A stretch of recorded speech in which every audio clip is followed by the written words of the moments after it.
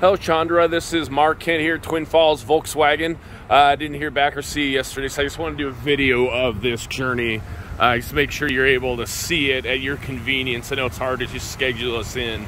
Um, but here it is, looks awesome 2019 as advertised. I mean, it's hard to, I, I do these videos to pick out like imperfections, things like that, show features.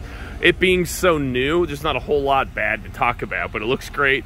Been through our shop, and if we happen to miss anything on it, um, it is under factory warranty. Let's see, is that...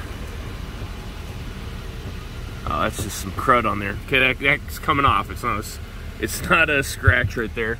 Um, just keep walking around here. Now looks great. Looks all good. And then I want to show you that some journeys don't have third row, so this one does. I'm going to show you. And they do they do go down if you want to set it down, okay? I'm going up over the top. Shut it here. Backup camera on it. There's your third row.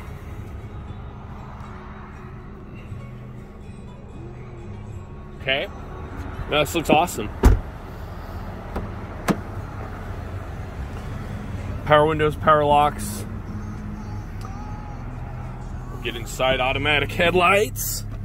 Miles on it exactly are, if I can slow this down here, 26629, that's 26629. Push button start, dual climate control, I'm sure it's got Bluetooth on it. Gonna show you the backup camera. There you go, yeah, see, awesome. So let me know what you think. If you want to schedule time to come in, we'd love to see your vehicle on trade to at least appraise that.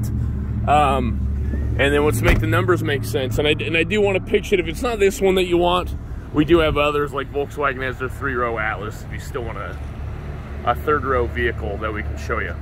So um, text me back, call me, let me know when it's convenient for you. I'm happy to help. Thanks for watching.